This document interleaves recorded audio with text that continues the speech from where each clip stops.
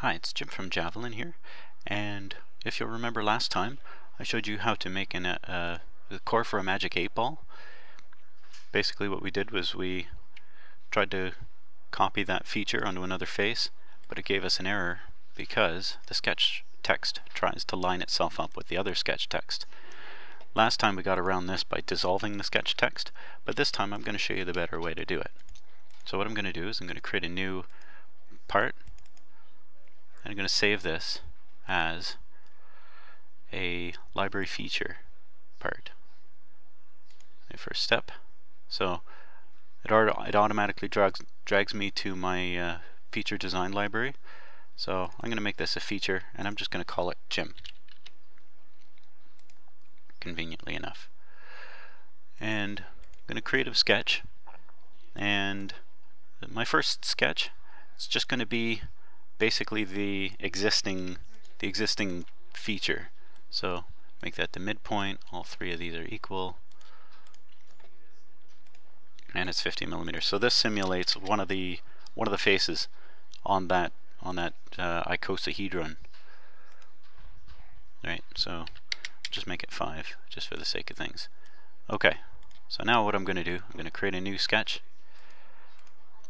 Create some reference reference lines going to be very careful because what I want to do is I want to avoid having things like horizontal relations because those will come back and haunt me later. Instead, I want to use things like midpoint relations.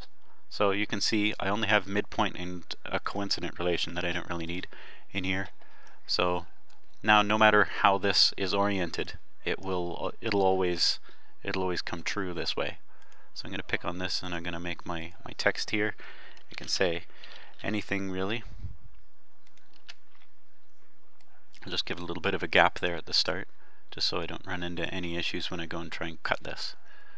So I'm going to create an extruded cut half a millimeter deep and say OK. So now I've got a text text that says anything. Alright, so now what I want to do is because you'll notice when I save this as a as a library feature part that my icon up here has changed. So now it's got a couple of library books. So what I want to do is that tells me that I've got different different kinds of behavior here in the tree. So I'm going to right click where it says cut extrude and I'm going to go down here and it says add to library and you'll notice the icon now has a green L above it. That's going to be important in a minute.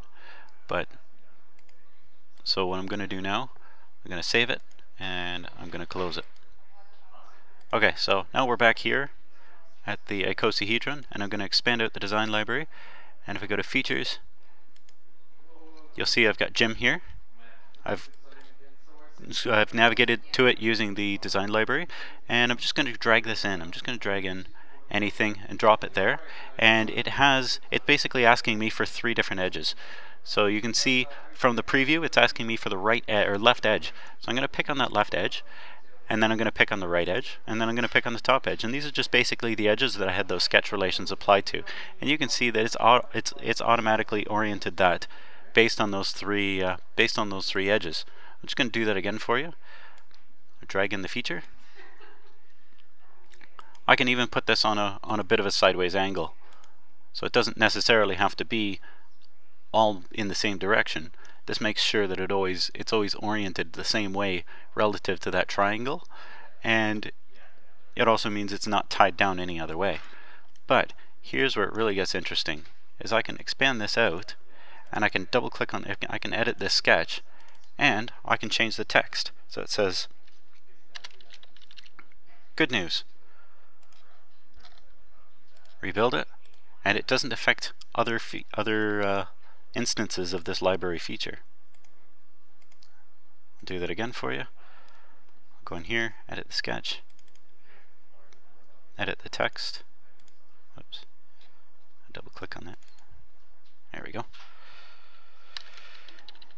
Better news. So there you go. Now your now your magic 8 ball can have different fortunes on each face.